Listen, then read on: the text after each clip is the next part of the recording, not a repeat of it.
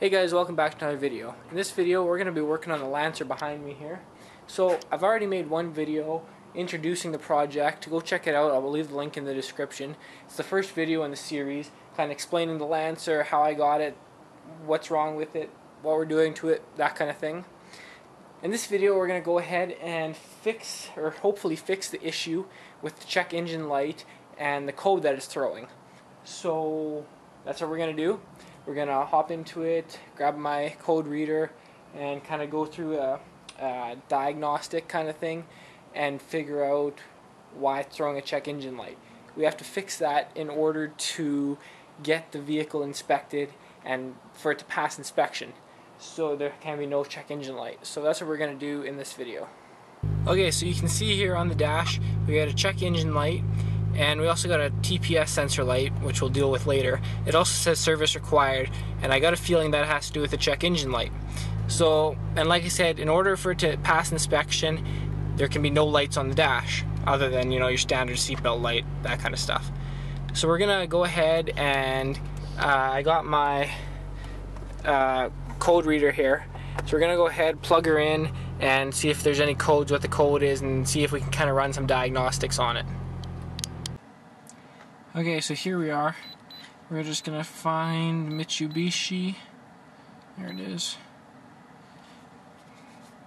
Uh, I guess we're gonna go. We're in America. Well, we're in Canada, but we'll say America. Um, I guess this is not an evolution. I think this is this one here. Uh, automatic. Okay, so we're into the system now, so we're just gonna click here. And we're gonna go and go read diagnostic trouble codes. And there's our code P0037, oxygen sensor heater, rear low. Um, so I did go ahead and look up this code and it says that generally it is an O2 sensor problem. So we're gonna, but before we change that, we're gonna go ahead and see if I can't um, do some troubleshooting and make sure that that is the problem before we go ahead and order the code. So we're gonna go into here and we're gonna look for our O2 sensor voltages and we're going to select them and see what they read.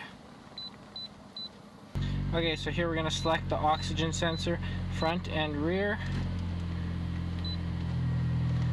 Okay, and as you can see, car is running.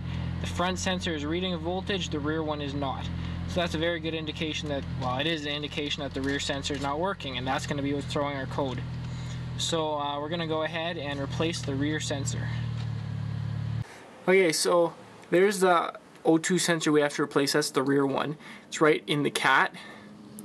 If you come up a little further right there, that's the front one. So for me, it was reading bad voltage at the rear one. So that's the sensor right there that we're going to replace. Pretty straightforward, actually pretty easy to get to. So here's our new O2 sensor. We ordered it from rockauto.com or .ca. Um, awesome, awesome, awesome service and prices. Like when I went down to my local auto parts store uh, and got a price, this one here from Rock Auto was like a third, if not a quarter of the price. So huge shout out to them. So we're going to go ahead and get it installed.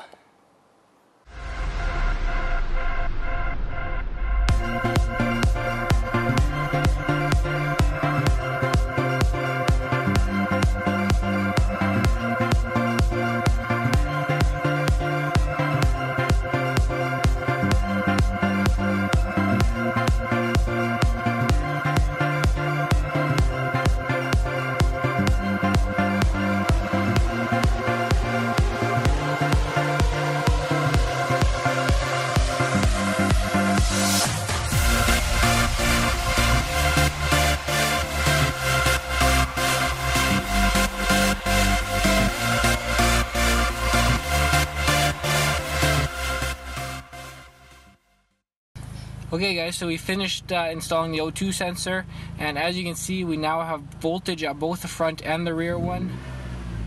which is good. So that's all fixed, and uh, uh, check engine light is gone. We still got, well, that's just the e-brake light. So if I take the e-brake off, it'll go off. Uh, that's the seatbelt light, so that's not an issue. This is the TPS sensor light for tire pressure sensors. So I'm gonna have to figure out. I'm pretty sure it's just these rims don't have tire pressure sensors in them which is why that light is on, which is why it's throwing this service required uh, indicator. So we're gonna have to figure out that, but at least the check engine light was gone, or is gone, which is my biggest concern. So that worked, changing the O2 sensor worked. Like you see, now we're reading both voltage, uh, voltage at both of them. Okay guys, so this is the old O2 sensor that came out of the car. As you can see, there's some chop work done to it. Um, it wasn't even electrical taped or anything like that really, so I can, I'm not surprised why it wasn't working. So that's the old one, and uh, yeah, the new one's perfect. Okay guys, so we're all done now. Got the new O2 sensor installed, it works good. It's reading voltage now, check engine light's gone, so that was a big success, one thing checked off the list. Next thing will be the body of it, um, fixing up the front bumper a little bit, the hood, the fender, getting it all painted.